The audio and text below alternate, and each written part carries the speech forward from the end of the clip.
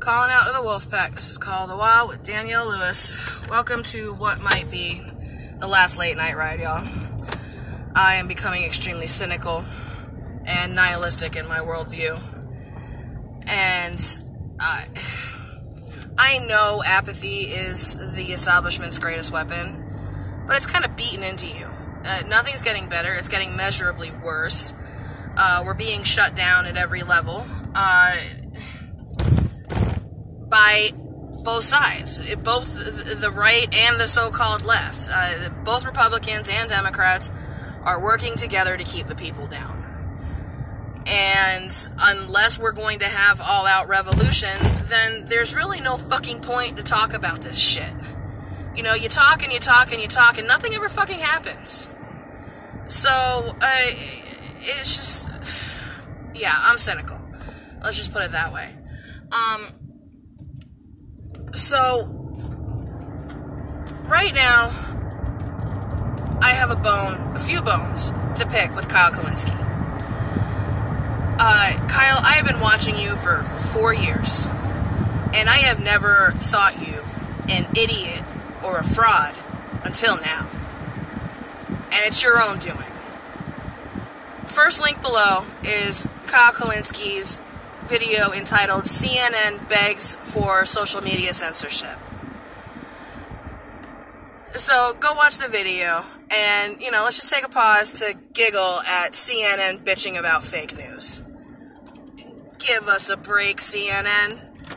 If we were going to judge fake news on an actual objective basis, then we need to do a few things we need to verify the factual and contextual truthfulness. Uh, we need to make sure that they are not outright lying, making up fairy tales as an excuse to do this or that. And we need to make sure that people are not inciting violence against each other. Alex Jones has done all of these things and more.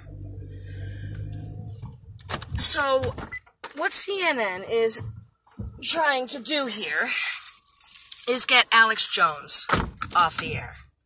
They weren't talking about anything else or anyone else. They're trying to get Alex Jones off the air. And I don't see how this is a free speech issue when free speech has exceptions for inciting violence. Uh, I see no reason to keep giving Alex Jones any type of mainstream validity. And to argue that, well, if you censor Alex Jones, that will give them an excuse to censor people like Jimmy Dore, I consider a false equivalence. Again, if you were to do an objective analysis of both Jimmy Dore and Alex Jones on uh, fact basis, uh, objective reality, uh, on ev- any level that you can measure for factual and contextual truthfulness, Jimmy Dore passes with flying colors and Alex Jones shits the bed. So, if you actually want to do an analysis of news and find out who is fake news, I will guarantee you that Jimmy Dore will be at the bottom of the list. So you can't compare Alex Jones to Jimmy, Jimmy Dore. Uh, that is a false equivalence, and at this point, I consider an empty threat to protect the status quo. That's what you're doing here, Kyle. You're saying, don't try to make anything better because it might get worse. To think of all of the innovations that humanity could have missed out on if we had kept up that attitude for our entire history if people were not willing to break the rules a little bit, bend the rules a little bit, to try to make things better. Alex Jones does not have the free speech right to incite violence against people. And that is what he does. You just did a video, Kyle, where he was talking about exterminating leftists. Now, when Jimmy Dore calls for revolution, that's written into our Constitution that we can do that. We are able to politically overthrow our government and put in place another one. What you are not allowed to do is a genocide against your political opponents. That's not allowed. So, what you're doing is comparing constitutionally guaranteed right to revolution against vigilante violence against political opponents. It's not the same thing, it's a false equivalence, Kyle. And you're using that false equivalence to try and save Alex Jones. When all Alex Jones wants to do is exterminate you, you fucking idiot. And while we're bitching about fake news, second link below is Kyle Kulinski's take on the latest Mueller indictments in the Russiagate scandal. Kyle Kulinski has jumped on the Russiagate train wreck. He is now convinced by these latest indictments that Julian Assange, quote, may not have been telling the truth when Julian Assange said that Russia did not hack the DNC. Kyle, what is more likely that Julian Assange, the person who for years has provided the public with information that we need and has never been proven wrong ever and never been proven to be lying? Or is Robert Mueller and our intelligence communities who are paid to lie? Who Robert Mueller is the asshole that lied before Congress to get us into the illegal Iraq war? Think is the liar, Kyle? If you can honestly tell me that you think on those bases that Julian Assange could possibly be a liar, I think you're a fucking idiot. You have lost the fucking plot.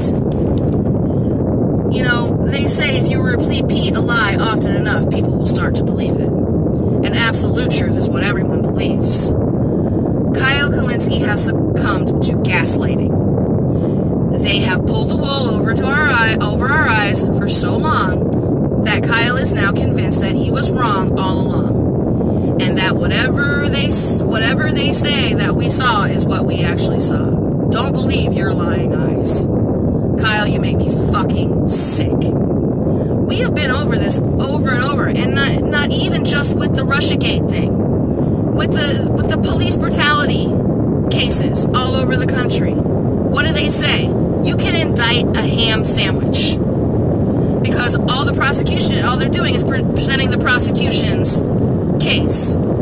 There's no showing of evidence. There's no argumentation. You can indict almost anyone or anything. An indictment is not proof of anything. So if they have proof that Russia hacked the DNC servers, and they have proof that, like, I saw the New York Post uh, uh, uh, headline tonight. They're talking about a, a Russian operative in D.C. who slept her way into politics. I want proof of all of this, and not from a rag like the New York Post. An indictment is not proof of anything, Kyle. And if you think that an indictment set down by Robert Mueller proves that Julian Assange is a liar, you're a fucking moron my last little bit for you is the last link below. Now, since I've been getting away from lefty media, after I unsubscribe from Kyle Kulinski, it'll be literally Jimmy Dore and Mike Figueroa left. I have been watching other things, and I've been getting heavily into the logic slash skeptic slash atheist community and I started watching. I'm just going to spew out a bunch of names here. I highly recommend you go watch them. Uh, Logic, Telltale Atheists, uh, Professor Stick. Professor Stick is taking a hiatus right now, but his videos are fucking golden. Uh, uh we got uh, Sir Sick, the social inequality crusader. He's fucking awesome. And I started out with these, and suddenly YouTube gave me Seth Andrews. And through Seth Andrews, I found Aron Ra and the Non Sequitur Show and Red's Rhetoric. Now, on the set Non Sequitur Show is that link below, the last link, where they're in a hangout and Aron is talking about himself running for Texas State Senate. Now, Aron Ra is a theological and biological researcher, so he is scientifically minded, he is politically progressive, and he is an atheist.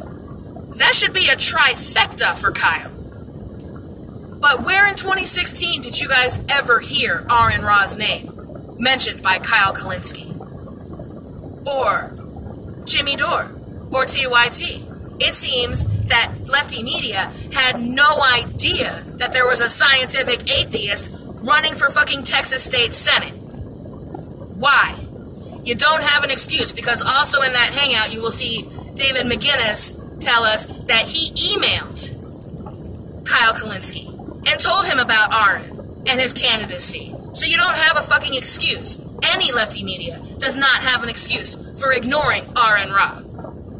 And Justice Democrats also ignored Aron Ra. Could it be, Kyle, that you're so focused on Justice Democrats, your little pet project, that you completely ignored all other progressive movements across the country? Because you're so focused on your little pet project that has failed at every fucking level? When I heard this, I went and I searched and I looked back. And there is quite literally nothing from any lefty media on Aron Ra. Uh, no one even even picked up his parody Texas campaign ad. It's the most hilarious thing I ever heard. I'll link that below too. It's only got like a, a, a few hundred views. I, I don't see any reason to exonerate lefty media for ignoring Aron Ra's candidacy, especially in a state where you have openly LGBT people running, but they won't even talk about having an atheist run. So where are you now, Kyle? When your atheist actually fucking needs you in twenty in 2016, you weren't there for anyone because you were focused on your pet project. And this is where it all fucking wraps up for me, Kyle. Because looking back on the last four years, compared to what you're doing now, is you've regressed completely. You, you defend Alex Jones, Richard Spencer, the fucking Nazis. You shame the left when they voice their free speech. Uh, you jump on the establishment's Russiagate like they've proven it with an indictment, and you completely ignored the perfect progressive candidate for Texas in 2016. So at this point, I am asking a whole shitload of questions about you, Kyle, and none of them are getting answered. Because I know you don't pay attention to your comment section. I know you don't fucking watch videos that respond to you, and I know you don't engage with your audience.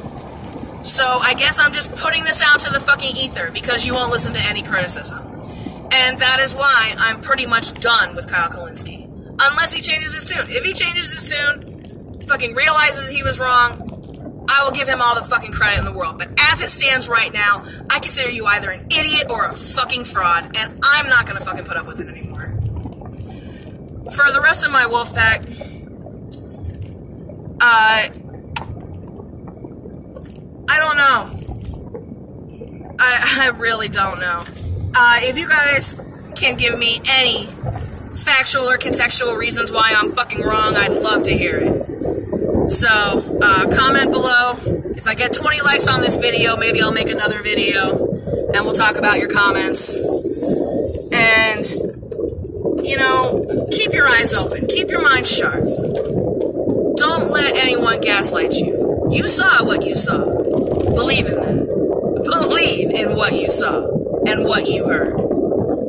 Because I don't think I'm fucking crazy. And I don't think anyone else noticing these inconsistencies are crazy either. So, leave a like, tell me what you think, and maybe I'll see you guys soon.